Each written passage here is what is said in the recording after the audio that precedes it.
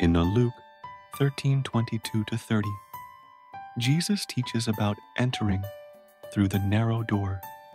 When someone asks if only a few will be saved, Jesus doesn't give a direct answer.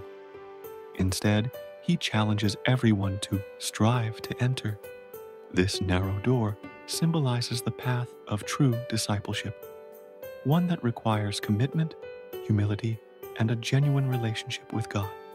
Jesus warns that many may seek to enter, but won't succeed if they rely only on association with Him rather than a deep, active faith.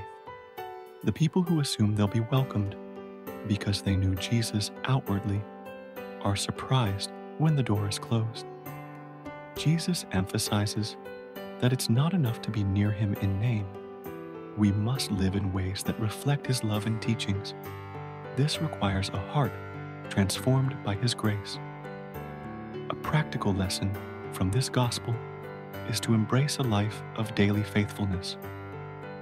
True discipleship isn't about shortcuts, it's a journey that requires discipline and commitment to God's ways.